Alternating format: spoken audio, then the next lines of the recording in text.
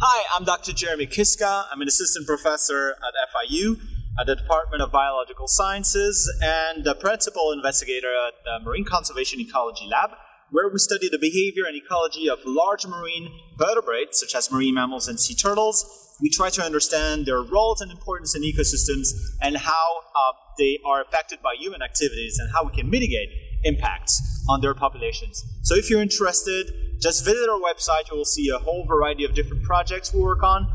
And uh, just reach out to us, send us an email if you want to join our team. Thank you very much and welcome.